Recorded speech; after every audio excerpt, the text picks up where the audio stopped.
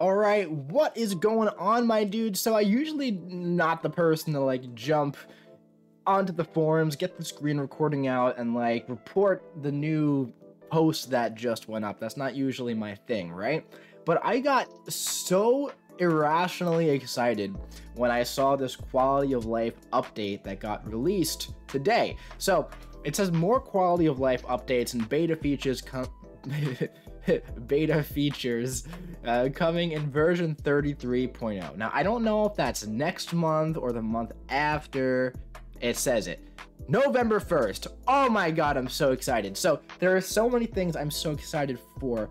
Um, but let's jump right in today and just let's go through some of it. I don't know if, I'm going to make this too long, but so First of all, this is really cool, okay? Smaller quest portraits. If you've been playing this game for a while, you've probably seen, like, you know, the, uh, this sort of image right here where like the character portrait is blocking the node right so essentially what they're doing is they're making it a little bit lower uh, or a little smaller so that you can click on the node easier. So basically, it seems like every event quest, every month, there's like one section of it um, where you just cannot click on the node, man. And you have to like, you know, click on it multiple times right around the head, the top of the head, or you have to click on the boss to get rid of all the portraits. So that's just a nice little quality of life update, and that's cool. And that probably should have happened like years ago. But you know what? We're getting there, and that doesn't matter. But this is like the smallest thing here, man.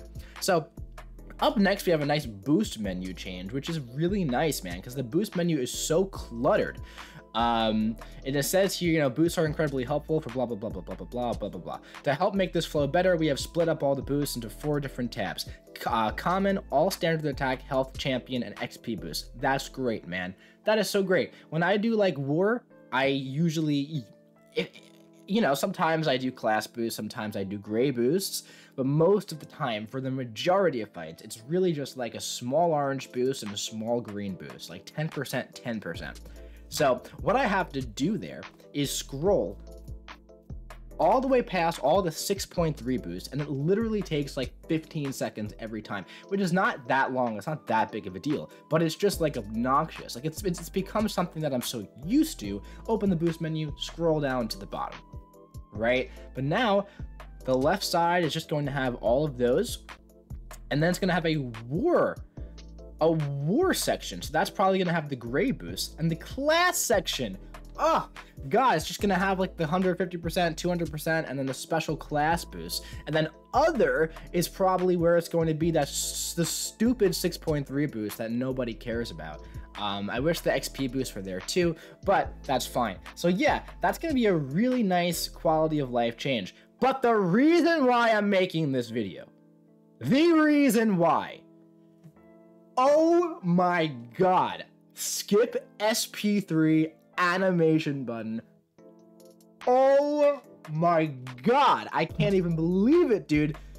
I can't even believe it look, it's like like they know. Look, as awesome as they are, after the thousand times seeing Hyperion throw your opponent into the sky, the charm wears off a bit. In these cases, we'd like to just get on with the fight, and the SP3 animation can drag the fight on longer than it should.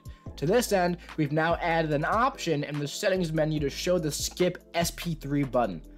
Dude, when enabled shortly after the SP3 is launched, the button will show up allowing you to skip it. Dude, the only restriction will be in time fights, where we are currently disabling it until we determine the future and game balance. Yeah, sure, of course, that makes a lot of sense. Um, in, in war, you should use it to get yourself, you know, settled anyway. So I don't mind that whatsoever. Um, oh my god, this made so many champions 10 times more playable for me. Let's go over to Aunt May. And obviously there are lots of champions in this game, right? Not all of them you want to use special threes, most of them you don't want to spam special threes, but there are some champs in which you do, and it becomes just boring, painstakingly boring to do that over and over, honestly, right? Like, let, let's go through the list here and see how many champions you like to at least start with a special three with, okay? Immortal Abomination, all right? Right out of the gate. Um, and longer fights, Apocalypse, okay? Um, there are some fights where Black Widow Clairvoyant, she only uses special 3 with her Sig ability. Um, Cosmic Ghost Rider, there are rotations where you do infinite special threes over and over and over and over and over and over. Doctor freaking Doom, dude. I haven't played Doctor Doom for like two years because I just can't stand doing the special threes over and over anymore. Guardian, if you want to build up all the special threes. Guillotine 2099, end the fight with a special three every single time. Hercules, in some fights, you just chain special threes for the immortality. Um, Hyperion, every fight at the beginning, you do the special three. Some fights, you only do the special three, right? Magneto, almost every fight you end with the special three. Kingpin, you can chain the special threes for the rage and the other stuff, and yeah. Um, King Groot, it, depending on the matchup, you can get more regen if you only use special threes. Uh, Iron Man Infinity War and like Labyrinth and Abyss, you only use special threes over and over and over.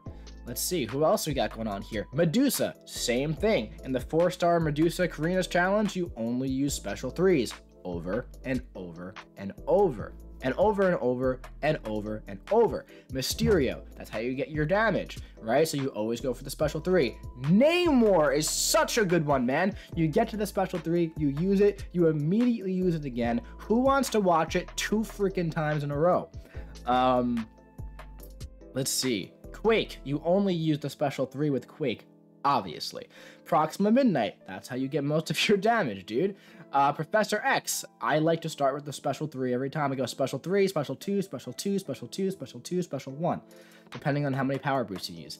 Odin, my biggest complaint about Odin is how you have to use a special 3 to get going. Um, who else we got here, man? So many champs that rely on using the special Sabretooth every fight every fight you have to use the special three with the Sasquatch synergy. Um, let's see. Silver Surfer, you gotta use a special three to get the aptitude for more of his damage, and he definitely needs as much damage as he could possibly get. Um, let's see, who else we got here? Who else do we have here that relies on lots of special threes?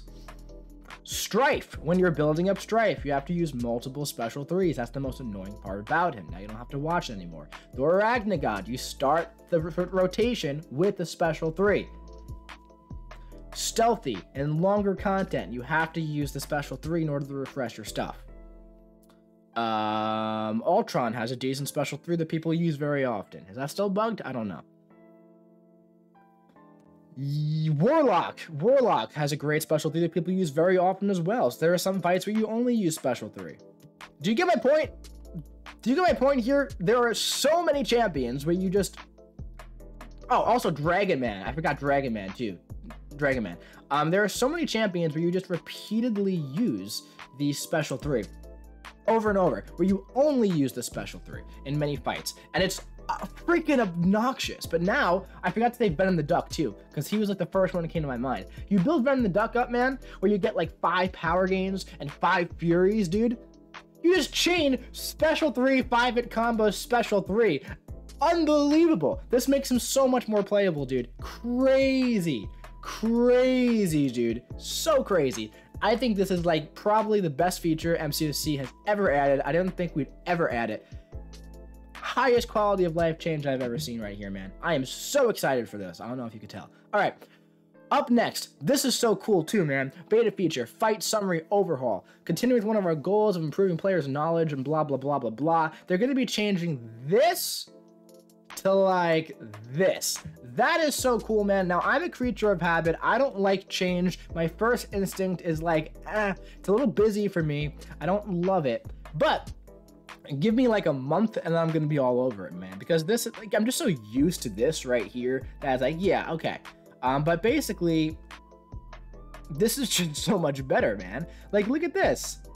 Look how cool this is, man. It shows you basic attacks, how much damage you took from incinerates, special attack damage. Look at this, finishing blows, incinerate times 68, other power stings, basic attacks, special attacks, fight duration. It shows you the fight duration, the hits, hits received the highest combo everything, except it's added the duration now too, which is huge. So now, when I make a video of like a new champion that came out, like freaking when uh, War Machine came out, and I was like, guys, look, he's really good. And people were like, wow, he took 200 hits to kill Winter Soldier. And I was like, no, his special 3 just has 5 million hits. I can say, look at the fight duration. Don't look at the amount of hits, look at the fight duration, because it's going to be there from now on. That's awesome.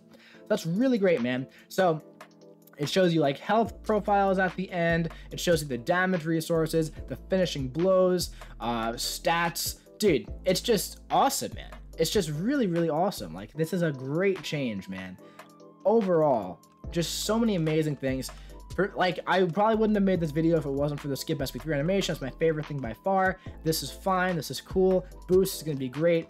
Amazing job. Huge shout out to Kabam Zero for being freaking awesome, man, and, and, doing this. He's the same guy who gave like the the replay button in the in the quests, right, where you just restart the quest. But yeah, really awesome stuff. Uh, that's gonna be it for this one. Just quick little quality of life update yelling at you video where I just wave my arms around and yell. Um, but that's it for this one. If you enjoyed it, drop your boy a big ol' like. Comment what you think about these changes in the comment section below and hit the subscribe button so you don't miss any future videos coming to you in the future.